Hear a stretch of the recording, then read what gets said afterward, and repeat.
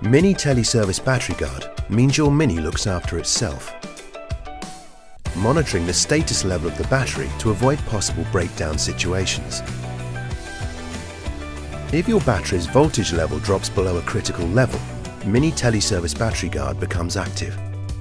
If the reason for your battery's power loss is due to a technical fault, your chosen Mini Centre is contacted. They will then proactively contact you to arrange an appointment and can adequately prepare for your arrival. Mini Teleservice Battery Guard works around the clock, helping you to avoid unnecessary disruptions and giving you peace of mind to focus on the more important things in life.